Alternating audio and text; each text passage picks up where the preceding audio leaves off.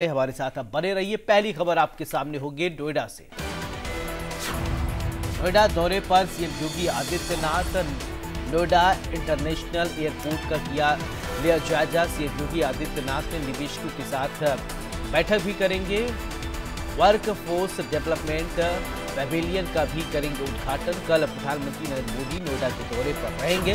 PM Modi, Semicon 2024 का करेंगे उद्घाटन। सीएम योगी आदित्यनाथ के दौरे को लेकर तैयारियों का लेंगे जायजा गौतम बुद्ध नगर विश्वविद्यालय के गेस्ट हाउस में सीएम योगी आदित्यनाथ करेंगे रात्रि विश्राम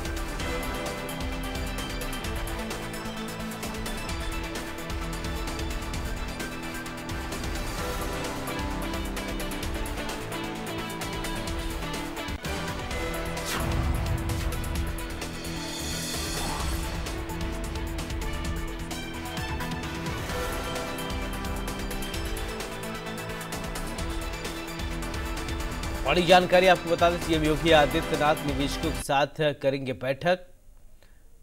नोएडा में सरकार, पीएम मोदी का इंतज़ार।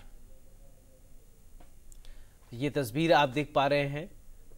मुख्यमंत्री योगी आदित्यनाथ जब पहुँचते हैं तो आप तस्वीर देख रहे हैं। नोएडा में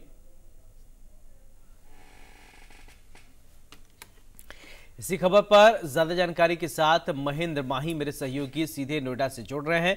महेंद्र, मुख्यमंत्री योगी आदित्यनाथ नोएडा पहुँच चुके हैं। क्या कुछ जानकारी आपके पास है?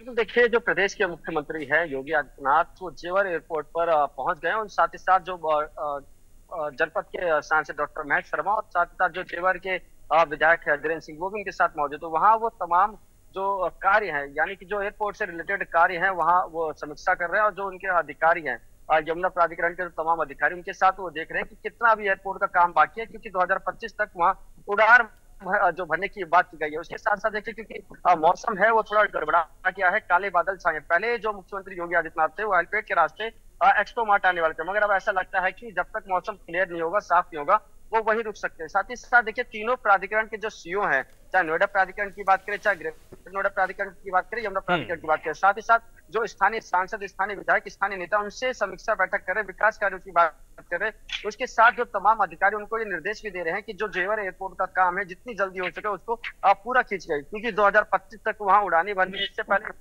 आ, कुछ दिन पहले ही जब तमाम जो मीडिया संस्थान के लोग थे वो जेवर एयरपोर्ट गए थे वहाँ दिखाया किस तरीके से एक सरफेस का पूरा सत्तर परसेंट काम हो चुका है और जल्दी वहाँ उड़ान भी भरी जाएगी। ऐसे में दो हज़ार पच्चीस का टारगेट गया है?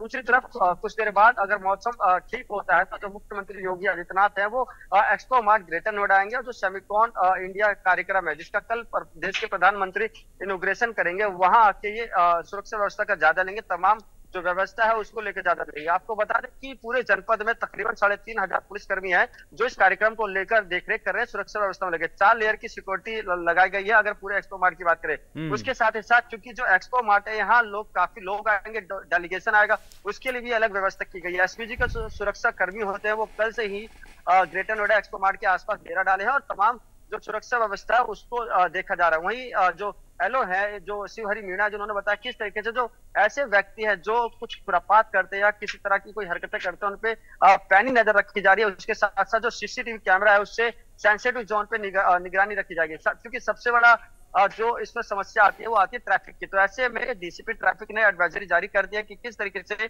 नोएडा से जो रास्ता कनेक्ट होता है ग्रेटर नोएडा और उसके बाद जो एक्सपो मार्ट आता है, वहाँ पे पूरा जो ट्रैफ़िक है, वो डाइवर्ट किया जाएगा। इमरजेंसी वाहन को छोड़कर किसी भी वाहन को यहाँ आने नहीं दिया जाएगा। तो ऐसे में तैयारी पूरी हो चुकी है, क्योंकि सेमिकॉन इंडिया का इनोग्रेशन पीएम मोदी करेंगे जो कि 11 12 13 तीन दिन तक चलेगा। ऐसे में तमाम जो देश के जो रिप्रेजेंटेटिव होते हैं, वो यहाँ आएँगे और इलेक्ट्रॉनिक एक तरीके से जो मार्केट होती है, उसको लेके बढ़ावा दिया जाएगा। इससे पहले भी मुख्यमंत्री योगी आदित्यनाथ ने कल की बात करें तो कल भी उन्होंने आईका कंपनी का आईकी कंपनी का जो मॉल है, उसका इनोग्रेशन किया था, जिसमें साफ़ तौर पर कहा था कि उत्तर प्रदेश, पूरे देश में नंबर एक है। अगर कामकाज की बात करें प्लांट लगाने की बात करें कंपनी लगाने की बात करें तो सबसे बेहतरीन ऐसे में जो आईका कंपनी के तमाम जो मैनेजर जो हेड उन्होंने भी मुख्यमंत्री और उत्तर प्रदेश के कामकाज की तारीफ़ की थी इंफ्रास्ट्रक्चर की तारीफ़ की थी।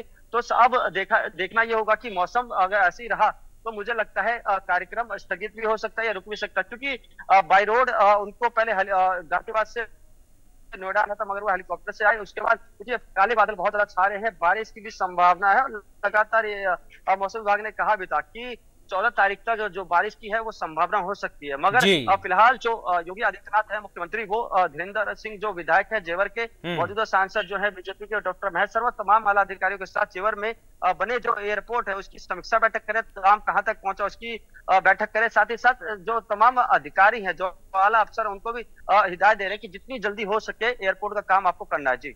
बिल्कुल। महेंद्र अगर बात करें प्रधानमंत्री नरेंद्र मोदी कल कितने बजे कार्यक्रम है? हाँ बिल्कुल, देखिए क्योंकि संभावित पूरा कार्यक्रम है, कल वो 12 बजे के आसपास वो यहाँ आएँगे और इनोग्रेशन करेंगे। उसके साथ ही साथ जो पीएमओ से एक मैसेज आया, वो यही आया है कि 12 से साढ़े बारह के बीच में उनका जो पूरा प्रोग्राम वो होगा, इस बीच वो तमाम जो निवेशक है, जो तमाम सेमिकॉन इंडिया में इन्वेस्टर है, उनके साथ भी बातचीत करेंगे। उनके साथ साथ मुख्यमंत्री होंगे और जो सांसद है डॉक्टर महेश शर्मा, वो मौजूद होंगे, तमाम तीनों अधिकारी, तीनों प्राधिकरण के अधिकारी होंगे। तो ऐसे में एक बड़ा इन्वेस्टमेंट होने की बात कर रहे हैं और देखा भी जा रहा है। पिछले दिनों हमने देखा किस तरीके से नोएडा में अलग अलग तमाम तरह के जो प्लांट हैं वो लगाए जा रहे हैं। ऐसे में इन्वेस्टमेंट की बात करें एमओयू की बात करें तमाम इंफ्रास्ट्रक्चर की बात करें तो उसको लेकर उस पर ज़्यादा ज़ोर दिया जाएगा क्योंकि चुनाव जीतने के बाद यानी कि 2024 का चुनाव जीतने के बाद प्रधानमंत्री का पहली बार ये नोएडा आएँगे ऐसे में पूरे जनपद को पूरी तरह से एक तरीके से बैनर से सजाया गया है। अगर आप हम्म। रास्ते में निकलेंगे एक्सप्रेसवे के रास्ते से निकलेंगे तो केवल आपको प्रधानमंत्री के बोर्ड दिखाई देंगे। जी। बिल्कुल चलिए महन तमाम जानकारी के लिए बहुत बहुत शुक्रिया।